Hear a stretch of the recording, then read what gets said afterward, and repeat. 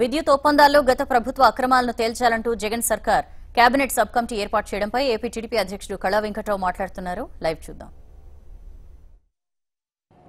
Government building ఉంది.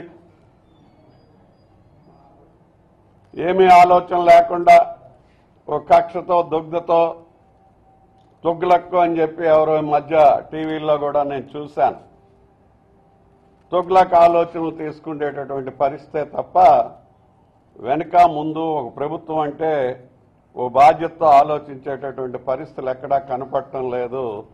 అందువల్ల ఎంత వెతికి చూసినా ఏం చేసినా గతంలో జరిగేటటువంటి ఏవైతే ఈ పీపీఏలు ఉన్నాయో మరి ఇవన్నీ కూడా according to government of India కేంద్ర ప్రభుత్వం ఇచ్చినటువంటి రినోవబుల్ ఎనర్జీ డిపార్ట్మెంట్ ఇచ్చినటువంటి అలాగే కేంద్ర రెగ్యులేటరీ కమిషన్ ఇచ్చినటువంటి స్టేట్ గవర్నమెంట్ రెగ్యులేటరీ కమిషన్ ఇచ్చినటువంటి గైడ్ లైన్స్ను ఫాలో అవుతూ ఈ పీపీఎల్ని అప్పుడుండేటటువంటి ఆంధ్రప్రదేశ్ గవర్నమెంటు నిర్ణయం తీసుకుంది తప్ప ఇందులో అవకతవకలు ఏమీ జరగలేదని చెప్పి మీ ద్వారా ప్రజలందరికీ కూడా తెలియచేస్తున్నాం. ఎందుకంటే అప్పుడు వచ్చినటువంటి ప్రభుత్వంలో రాజశేఖర్ రెడ్డి గారు ఆయన కూడా ఈ విధంగానే వేస్తూ చేసినటువంటి వ్యక్తి. తర్వాత ఏమైంది అనేటటువంటిది మనం చూడాల్సినటువంటి అవసరం ఉంది. ఇంకొక విషయం కూడా ఇందులో జగన్మోహన్ రెడ్డి గారు రాగానే కరెంట్ సప్లై కరెక్ట్గా ఇవ్వలేకపోతున్నారు. వచ్చిన దగ్గర నుంచి కట్స్ వస్తున్నాయి.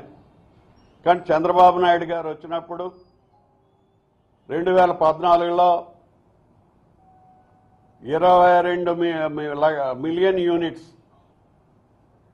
ఇరవై రెండు లక్షల మిలియన్ యూనిట్స్ లోట్లో ఉంటే దాన్ని టూ మంత్స్లో అధిగమించి ఇరవై నాలుగు గంటలు కరెంట్ ఇచ్చేటటువంటి స్థితికి ఆంధ్ర రాష్ట్రాన్ని తీసుకొచ్చి సగం రాత్రిలో ఇచ్చినటువంటి కరెంటు అప్పుడుండేటటువంటి ప్రభుత్వాలు సగం రాత్రిలో కరెంటు ఇస్తే అగ్రికల్చరల్గా పంట పండించుకోవడానికి వెళ్ళిన రైతులు చనిపోతుంటే మరి డే టైంలోన బిఫోర్ టెన్ ఓ క్లాక్ ఇచ్చి తర్వాత డే టైమే పూర్తిగా ఇచ్చినటువంటి పరిస్థితులు తొమ్మిది గంటలకు పెంచినటువంటి టైం మనం చూస్తున్నాం.